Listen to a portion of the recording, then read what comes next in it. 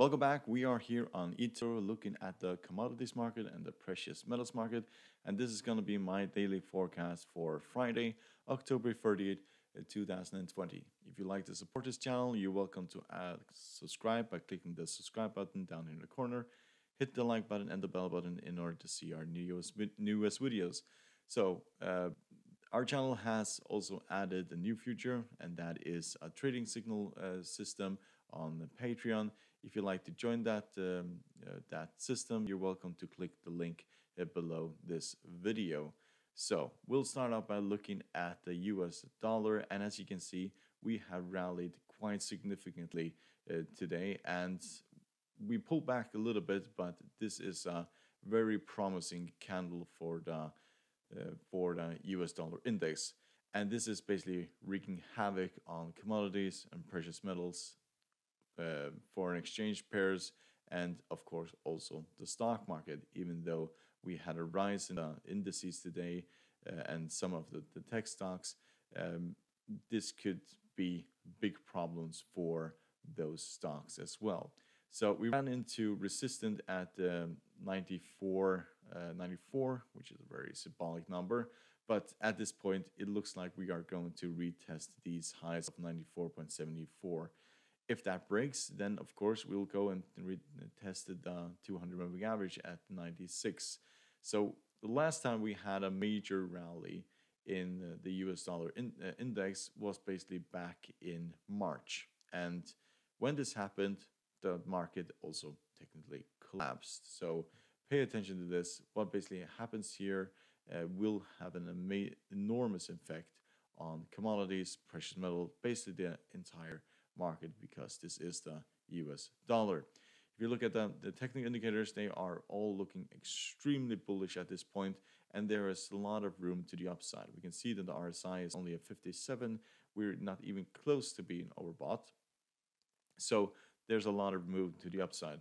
MACD is looking uh, promising. The same goes for the stochastic.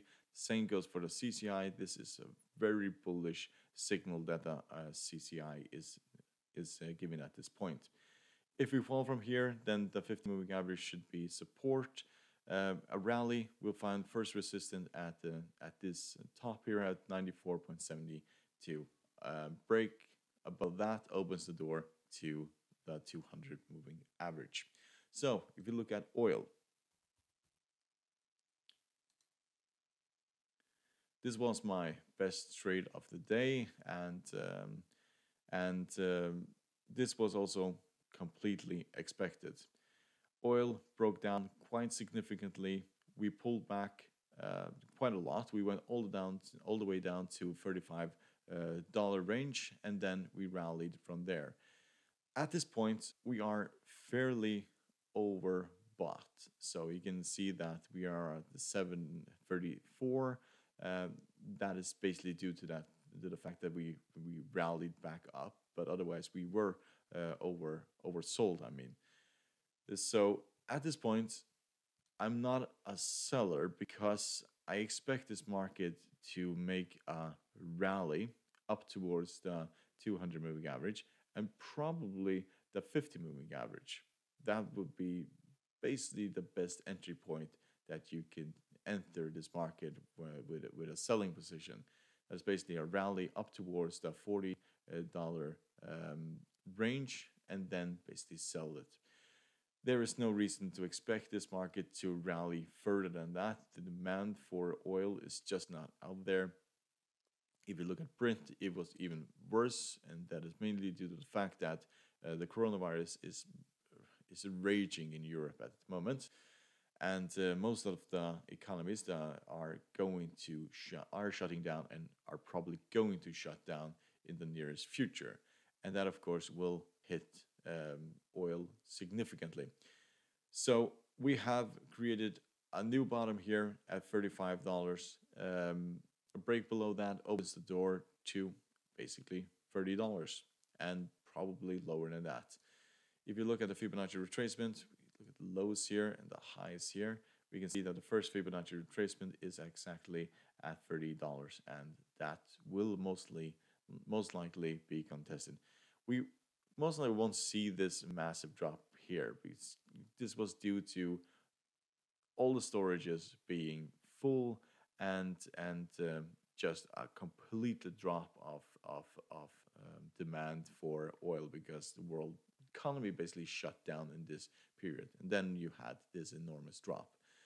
At this point, um, we don't have that um, kind of production, and we uh, are not going to see the entire world shutting down its economy at the same time, like we saw in this period. So it will most likely be a more gradual decline, a rally up towards the 50, decline further, rally up towards 50, and decline further. So it'll probably take maybe several weeks before we get to this level. But I favor the downside. I don't favor the upside in this market whatsoever. So rallies are uh, to be basically sold into. So if you look at W, no, natural gas, sorry, this was WTI. Look at natural gas, we broke down quite significantly and we found uh, support at the 3.1581. That's where we found support, and that was not the uh, decline in natural gas that I was expected. I was expecting a decline all the way towards the 50 moving average. We'll probably get that because we have not cleared the top of this range. And before we do that, uh, we are bound to basically trade sideways. We are quite overextended. We are actually really overextended. We are at the edge of being overbought. Um, some of the technical indicators, like the CCI, I have turned around, but the MACD and the stochastic are crossing the signal line. So this is a clear indication that this market is about to turn around, and that will basically be what we've been waiting for because we need a pullback towards the 50 moving average in order to open up buy position into this market. There's no reason to, to sell this. This is basically buying the dips, um, getting close to the 50 moving average, and then buying to higher levels. We're in an uptrend, and there is no reason to expect that this uh, market is going to break down. Break below the 50, we'll find support in this area here around the 2.5 and then of course the 200 moving average all the way down here. But at this point, we are expecting a pullback, waiting for that in order to enter for a buy position. Too risky to enter a buy at this at this stage. So if we look at copper, so we're just hanging around here at the 50 moving average. Um, we are most likely going to test the 50 moving average. We tested it nearly twice. We haven't gotten all the way down to there. But if, for example, gold uh, prices collapse, um, this is basically what happened to copper prices when uh, you know, all oil prices collapsed uh, as well. And the reason for this is basically demand. If demand for these commodities uh, isn't there, then the price will fall. It's, it's just simple economics. You need basically demand to, pre- to pressure the price up. So so that's what basically I, am expecting to happen here. Uh, a break below the 50 moving average opens the door first of all to 2.9, then to 2.8, 2.7, and then all the way towards the 200 moving average. That is what I expect to happen.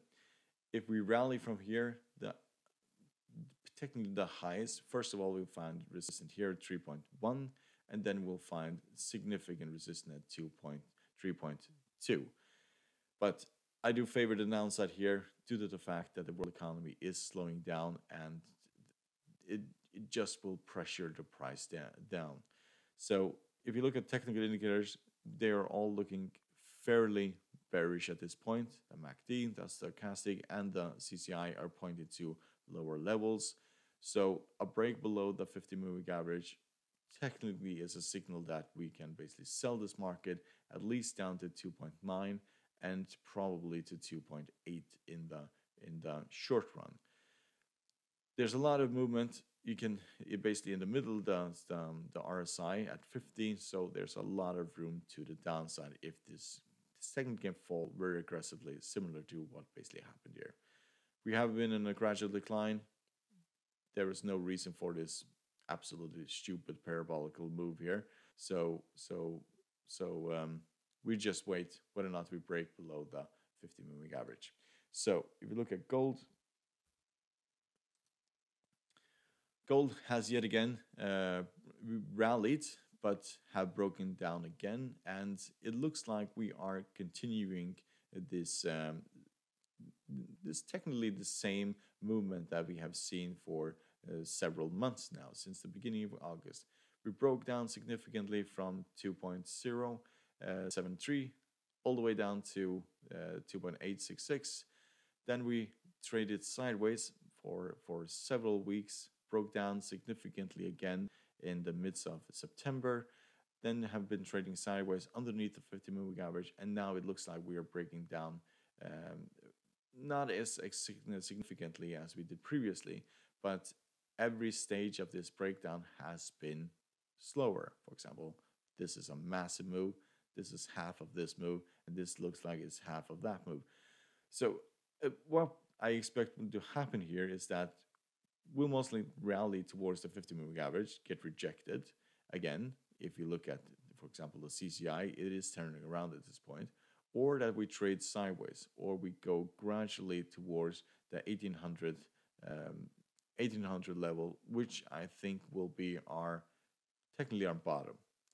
So this was previous um, support area. We never tested it uh, again we most likely will find most buyers will enter at 1800 so so if we technically can get down here or technically get close to this level that is most likely the best opportunity that you will get in order for a very um, to hold this um, trade for a very long time.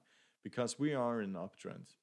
We are dipping at the moment but just look at this. We're just gradually going much higher and for the foreseeable future, due to the coronavirus and the world economy and so on, uh, there is going to be a massive amount of spending from governments and central banks and so on, which will basically just pressure this um, market to higher levels. If we break above the 50 moving average, which I doubt we will do, uh, we will find significant resistance um, in this area here. You see that we tested that uh, a long time ago how often we tried to get through this area and did not manage. So break about the 50, we'll run into this resistant area and probably be uh, forced down again. So we need the necessary momentum.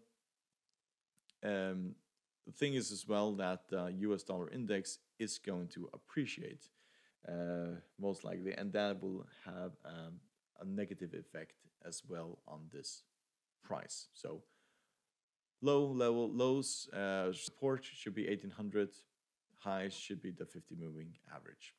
So we look at the silver.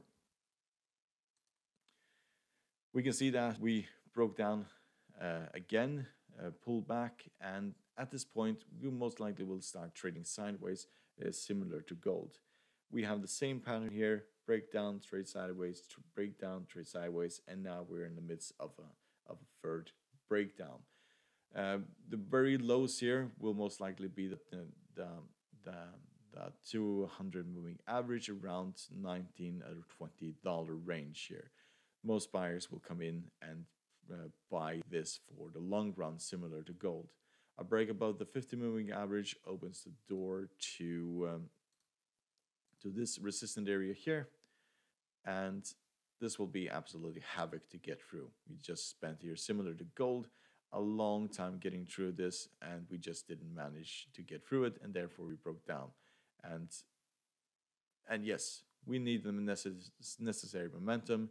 The us dollar is going to work against this market for um, at least a few trading days probably weeks um, depending on how much it appreciates as it's looking at this point if you look at technical indicators, uh, RSI is quite low. The CCI is pointing to higher levels. The stochastic is about to turn around, but the MACD is looking fairly weak or negative. So mixed signals, but I do believe we will go towards the $20 uh, range um, before we go higher.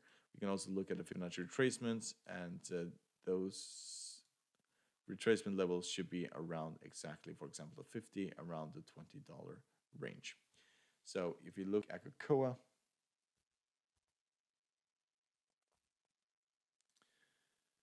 we can see when we continue our decline in this market, the technical indicators are looking even worse. The MACD has crossed the signal line, the stochastic pointing straight down, CCI is pointing straight down, and we have some room left to the downside. However, how far will we go? Well, we are trading in the short run in this range of the highs of around 2.522 and the lows of 2.328. So if we break this line here, then that opens the door to 2.2 and if that breaks, that opens the door to 2.0. On the other hand, if we break above this line, that opens the door to these highs of 2.7. So we have the very highs of 2.7 and we have the very lows of 2.0.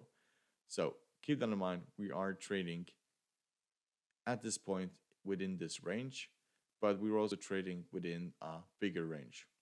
And we have traded in this range for a very long time. For example, here we were in this entire area here trading it within this range. The same goes for this area here. And now we're doing that again. But eventually we do break to the downside and we break to the upside. And whether or not we break this line, that opens the door to the very lows. If we break above, that opens the door to the very highs. So keep that in mind.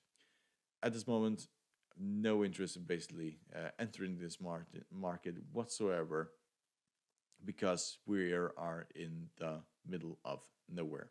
We need a clear signal that we're going to break this line, that we are going to these uh, these lows, or we need to break the 50 moving average and this uh, this resistance line in order to trigger uh, upside move. So if you look at sugar, we can see that we have continued now we started to continue to break down. We found quite a lot of um, support here at 0.1433.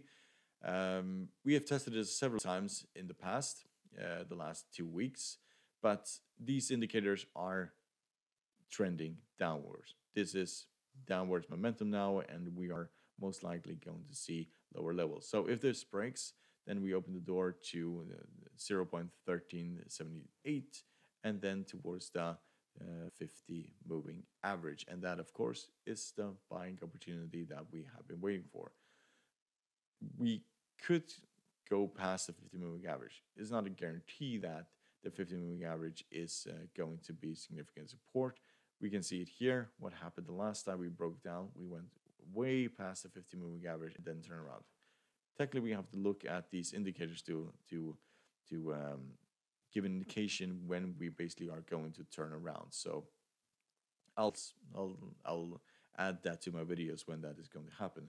But at this point, just wait for the dip and then is basically the buying opportunity that will arrive um, at some point when we get close to the 50 moving average or underneath the 50 moving average. We are in a uh, upwards trend, upward trends. We have a significant uh, support line here. So if we break the 50 moving average, we will most likely run into the support line and then go continue higher. We are, you can also say, within a channel here, if we look like that, we're in an up, upward moving channel. We're hitting the upper part or have hit it uh, on Tuesday, and now we're going back towards the lower part of this channel. So this could be a selling opportunity. Um, this is not my cup of tea, but for people that want to take this risk, that is uh, there is quite a far distance between where we are now and this uh, lower channel here. But I like buying the dip, so that is what I'm going to uh, wait for. So you look at wheats, we can see that we continue, we have now significantly broken down and we are heading towards the 15 moving average. Um, similar to um, to sugar market, we have this trend line here, which coincide also with the 50 moving average. So when we arrive towards this area, that should be significant uh, support and uh, we'll see most of these indicators will basically turn around and head to the upside. No interest basically in shorting this. This is also just wait until we get to these levels in order to enter this market. Um, we are in a, a upwards trend and there's no indication that this trend is going to break. We basically need a break between uh, underneath this, uh, through this uh, this trend line and the 50 moving average before we can basically say that we are going um, to see significant lower levels. Even then, we'll have significant significant support underneath this um, this market. So you look at technical indicators; they are all looking uh, horrible. So they are going. This is uh, going to much lower levels uh, when you look at these four indicators. We are at 3.53 on the RSI. There's a lot of room to the downside. We're not even close to being oversold. Uh, same goes for the CCI, and same goes stochastic, same goes for the MACD. We were very overextended. It was this was completely expected that we're gonna break down. But how far? Well, this trend line is a good shot at it at the um, basically being in support, and so is the 50 moving average. So hope you find this video helpful. You're welcome to support our channel by subscribing. Hit the subscribe button down in the corner. Hit the like button and the bell button in order to see our newest videos you want to uh, to um, get daily signals, you're welcome to head over to Patreon and join our signal service. Good luck and thank you very much.